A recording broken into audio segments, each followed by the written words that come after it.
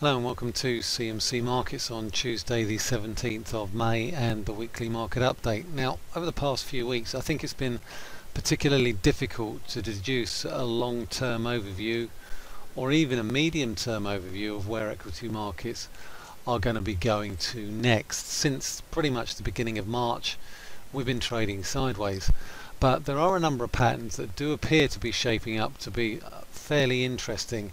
And I think it's important that we have a look at these patterns in particular because um, they're, they're happening on two of the major indices um, that we look at on a very regular basis namely the FTSE 100 UK 100 and the US S&P 500 so let's make a start with the UK 100 the FTSE 100 got the chart in front of me here and we can see from the horizontal lines that I've drawn in on this particular chart here that there's certainly potential for a little bit of a head and shoulders reversal.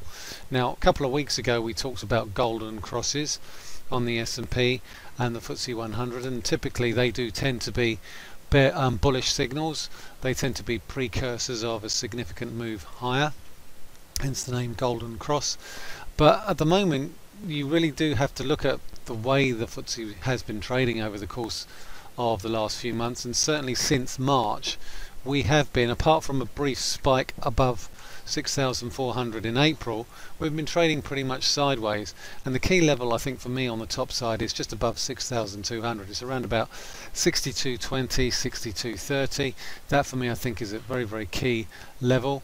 It certainly it represents what I would call the left shoulder and potentially the right shoulder. Now shoulders don't necessarily have to be equal, they can be slightly unequal, but certainly the left shoulder currently sits around about 62.20, 62.30. You've got the head at 6,400 and then you've got the right shoulder which is continuing to develop, shall we say, with a top, top of that around about 62.20. So that gives us pretty much a horizontal neckline. Horizontal neckline currently comes in around about the 6050 6050 6060 level. So I think at the moment we're trading sideways in a broad range between 6050 and 6240 on the wide of it.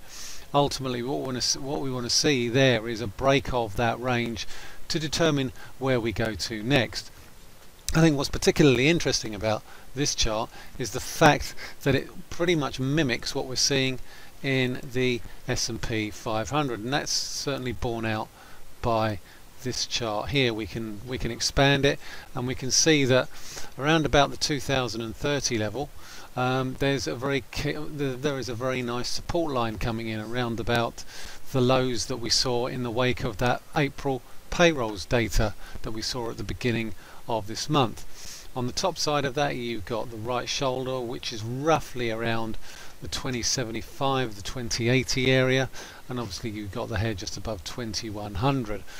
The, again, we had the Golden Cross in April, which I talked about in an earlier video and warned about reading too much into it.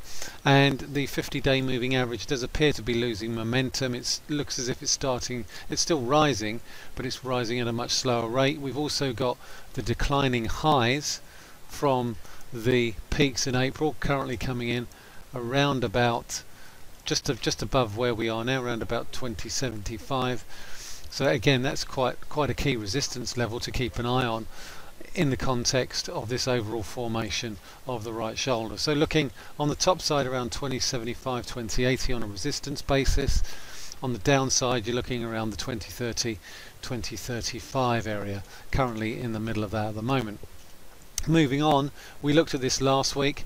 I make no apologies for looking at it again this week. Potentially we've developed a little bit further on the right shoulder basis for euro sterling and we do appear now to be approaching that neckline that I drew in from the March lows. So at the moment we're still very much capped at the 79.30 area also corresponds with the 200 week moving average which again I think is a very key um, resistance level. But more importantly I think in the context of this chart here and the left shoulder here the head and the right shoulder here the oscillator is now starting to turn down as well. And we are starting to get a little bit of positive momentum in terms of the pound negative momentum in terms of the euro that's that pretty much brings me into what we were talking about yesterday with respect to crude oil. We did get a golden cross on that. We do appear to be sustaining the positive momentum on there, but we do appear to be running into a little bit of a resistance around the $50 a barrel level. Why are we running into resistance there? Well, I think it's pretty much on the basis that round numbers tend to act as significant areas of support or resistance.